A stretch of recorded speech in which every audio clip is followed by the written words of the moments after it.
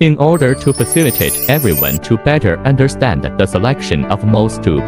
Today, we introduce a N-channel MOS transistor. Model is CEA6426VB. Product feature, rated voltage 60伏, maximum continuous current 5A. Gate source voltage VGS 20伏 V. Threshold voltage VTH 1到3伏。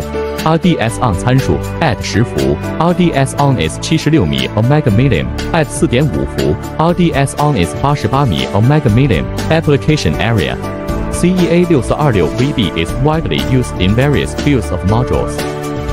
Power Management Module CEA 6426 VBE's high voltage rating and ability to withstand moderate currents make it a good choice for power management modules.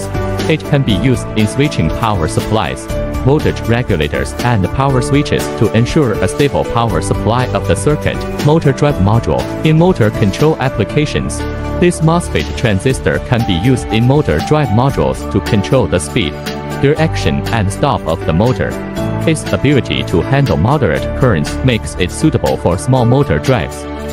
LED driver CEA6426VB can be used in the LED driver module to control the brightness and color of the LED lamp. Its low on resistance helps reduce power losses and provides an efficient LED lighting solution. Battery Management Module The transistor can be used in the battery management and protection module, which is used to control the switch of battery charging and discharging, ensuring the safety and prolonging the life of the battery. Electronic switch in applications that require low voltage power management and power switching, such as portable medical devices and low voltage sensor nodes. This MOSFET can be used for power management and power control.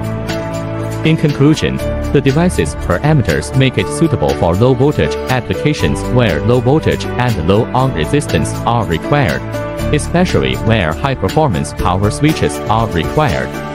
This is RSK3065VB.